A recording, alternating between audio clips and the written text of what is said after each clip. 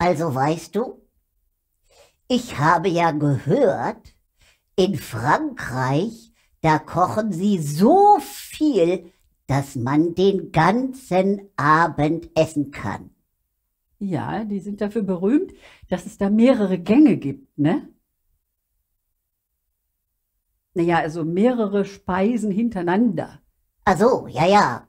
Da gibt es erstmal so ein Süppchen und dann gibt es so ein kleines Hors d'oeuvre und dann gibt es so ein äh, Salatchen und dann äh, ein bisschen Fisch, bisschen Fleisch. ja, sowas, ne? Hm, Ja, da stehst du ja drauf, ne? Oh ja, ja. Und hinterher gibt's noch Käse und, und so Stinkekäse auch. Ah ja.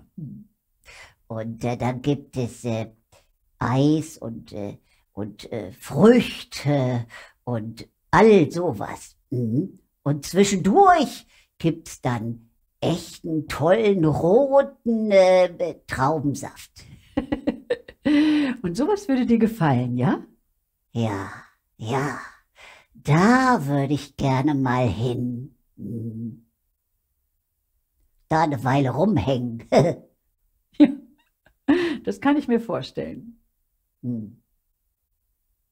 Hm. Ja.